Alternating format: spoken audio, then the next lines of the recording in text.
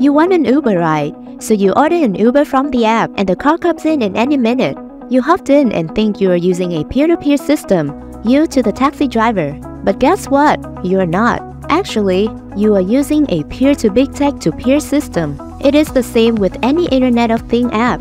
Any app to do with vehicles, machines, robots, and devices, where the big corps would likely collect every bit of your data and sell it to advertisers for their earnings. What if we could choose what data to sell to who, when, and how much? We all get to earn, and the peaq network enables that. A network that instead of stealing power, value, and data, distributes them.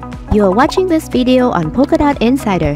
peaq is a community-governed network where the community comes to build community-owned applications for community-owned machines to create community value. peaq is a layer 1 blockchain for DePIN. DePIN stands for Decentralized Physical Infrastructure Networks, originated from the idea of Internet of Things. DePINs are physical infrastructure networks built by decentralized applications that use token to incentivize communities. You can think of charging station on 5G hotspots, where communities crowdsource together and then provide connectivity through those networks. With DePIN, instead of big corporation earning all that money and generating all that value, the community that builds the infrastructure gets to earn and own them. DePINs are estimated to have a massive market opportunity, with a total of 3.5 trillion by 2028. peaq is Web3 largest and fastest growing DePINs ecosystem, with more than 20 DePINs building on peaq, more than 200,000 machines, vehicles, robots, and devices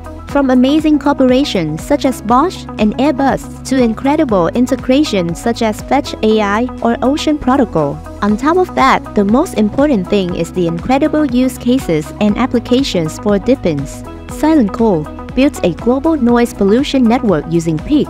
Natix builds the Internet of Cameras, with more than 40,000 cameras mapping the real world in real time on the peaq network. Are Eloop and Tesla the first project ever to tokenize a car-sharing fleet. Let's take Eloop for a better understanding of this model. Eloop crowdsources capital from the community, buys up to 200 Tesla as the number of facts, tokenizes them, and generates revenue from that. The revenue is split between the community who financed the cars in the first place. Simple, but brilliant. Peak can seamlessly interact on Polkadot thanks to cross-chain compatibility.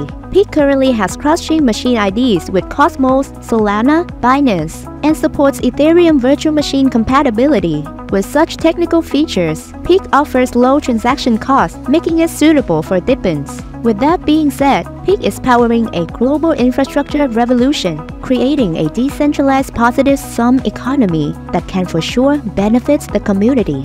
Like and subscribe to Polkadot Insider for new project updates.